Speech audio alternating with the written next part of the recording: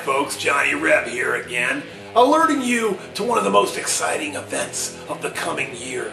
Our Paranormal Ball on New Year's Day night 2011.